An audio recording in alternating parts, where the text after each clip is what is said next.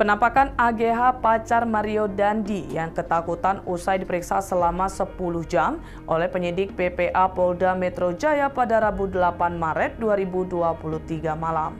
Polisi menegaskan bahwa AGH resmi ditahan. Hingga pada saat dibawa keluar, ia tampak dikawal ketat oleh petugas perempuan.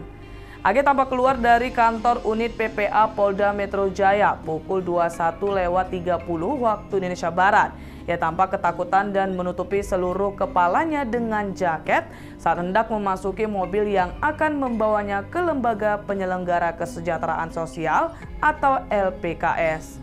Tampak saking padatnya awak media yang meliput, kepala AGH sempat terhalang kabel dari kamera awak media yang meliput. Penyidik di Treskrimum Polda Metro Jaya akhirnya memutuskan untuk menahan pelaku AGH usai menjadi otak kasus penganiayaan brutal terhadap David Ozora. Ikuti terus berita menarik lainnya. Jangan lupa like dan share seluruh akun Tribun Medan.